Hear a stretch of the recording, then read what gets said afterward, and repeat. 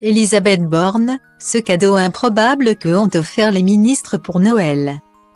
En France, ces derniers jours ont été marqués par le beau parcours de l'équipe de France de football lors de la Coupe du Monde au Qatar.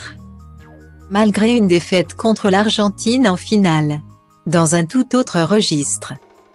Elisabeth Borne, devenue première ministre en mai après la démission de Jean Castex a fait la une de l'actualité politique pour avoir utilisé le 49 à 3 pour la dixième fois.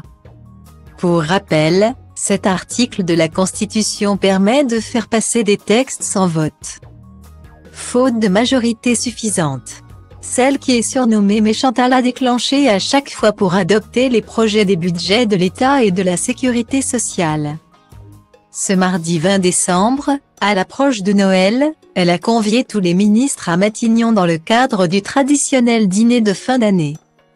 Avec leurs conjoints ou conjointes, ils se sont retrouvés autour d'un repas convivial et ont été remerciés par Elisabeth Borne.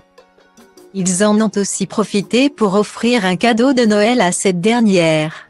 Un présent improbable qui n'a pas été du goût de tous mondial de football oblige, la première ministre s'est vue offrir un maillot de l'équipe de France personnalisé. Selon le point, il était floqué sur le devant avec le numéro 49, et dans le dos avec le chiffre 3. Un clin d'œil, évidemment, à l'article 49 à 3, et qui serait un cadeau collectif. Sur une idée originale du secrétaire d'État Hervé Berville, comme l'a confié un ministre.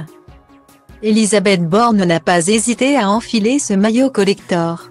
Elle a également déambulé dans la salle pour le montrer à ses invités, qui ont immortalisé ce moment avec leur téléphone.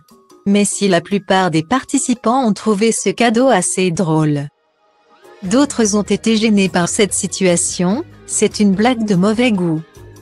Elle a mis le maillot pour faire plaisir, mais c'est un sujet qu'elle ne prend pas à la légère.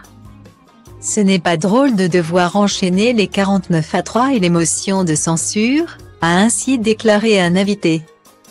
Consciente du BAD buzz qui pourrait être déclenché, la conseillère de la première ministre serait rapidement intervenue pour empêcher toute diffusion d'images sur les réseaux sociaux.